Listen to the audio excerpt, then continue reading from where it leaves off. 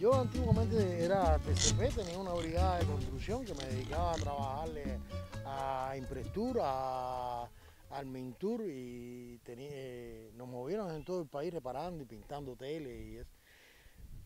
¿Y qué pasó? No, sencillo que cuando entró ahora el tema de la COVID, las brigadas empezaron a mermar en los trabajos eh, y el país empezó a, pedirle a todos los pequeños agricultores y a todos los campesinos que entregaran su, su granito de arena en el tema de la alimentación del pueblo, para la soberanía alimentaria.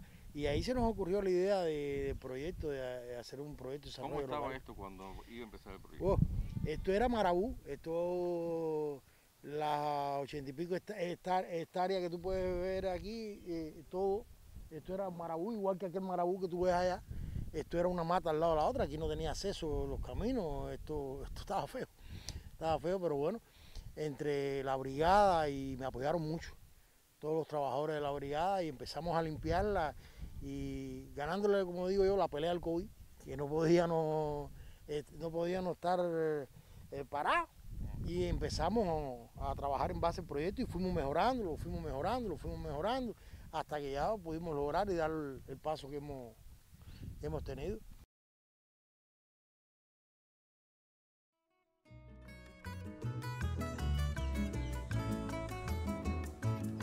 Sí, me siento contento y, más que contento, me siento orgulloso de poder portarle eh, y contribuir, como entiende, al pueblo con la alimentación que hoy tanto lo necesitamos, que todos los productores nos unamos para poder contribuir a, la alimentación del pueblo.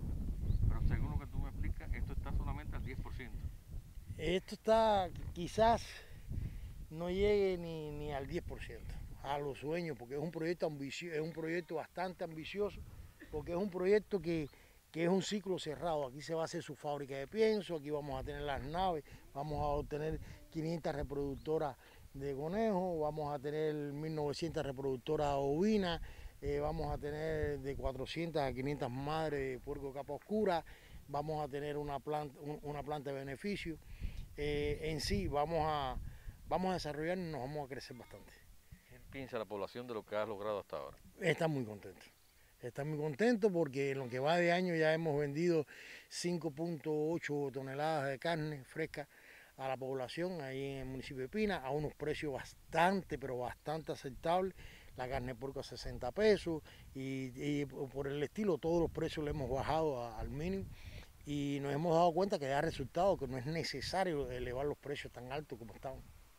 ¿La familia qué piensa? Ah, mi familia, bueno, todos están muy contentos, todos me están apoyando. Eh, sin el apoyo de ellos no lo hubiese podido hacer, principalmente de mis hijas, mi esposa, que me han apoyado mucho.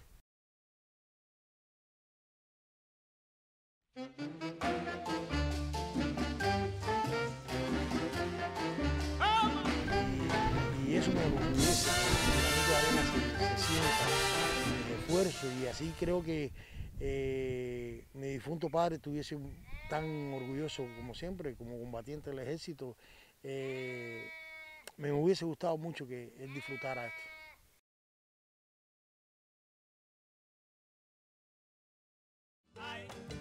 me siento qué linda, pero qué linda es mi Cuba.